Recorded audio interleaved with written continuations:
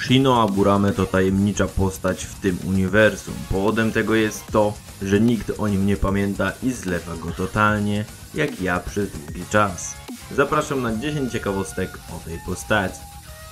Jego nazwisko jest odmianą słowa Aburamushi, co oznacza karaluch, a jego imię oznacza wiary, czyli Shino Aburame to tak naprawdę karaluch wiary. W anime dawał on imiona swoim insektom. Przez krótką chwilę widzimy oczy Shino, chociaż z profilu to wyglądają normalnie. Jako jedyny z dziewiątki nowicjuszy nie znalazł się na okładce mangi. Czyżby znów o nim zapomnieli? Jego hobby to entymologia i zbieranie nowych owadów do swojej kolekcji.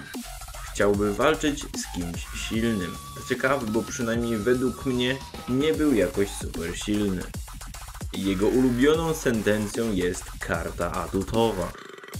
Hiba twierdzi, iż Shino wciąż żałuje, że nie był na misji ratowania Sasuke.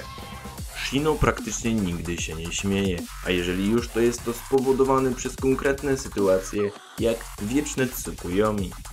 Kakashi mógłby nawet nie żyć, gdyby nie to, że Shino potrafi wyhodować specjalne gatunki insektów. Uratował go przed Guren, która mogłaby poważnie uszkodzić Kakashiego. To już na tyle w tym filmiku. Możecie dać propozycję kolejnej postaci do ciekawostek, a kiedyś się ją zrobi. Trzymajcie się, na razie, cześć!